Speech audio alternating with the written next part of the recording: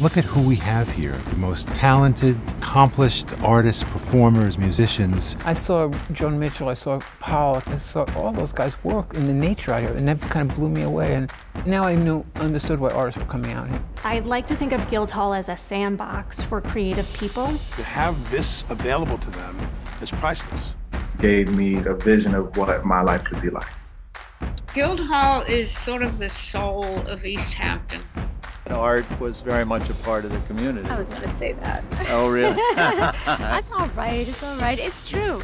You want to exchange ideas in a very different way than you do in the city. The overall experience, I think that in itself probably the greatest value to my life.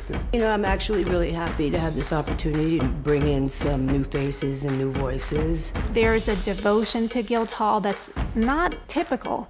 It's, it's a devotion to an institution that changes lives.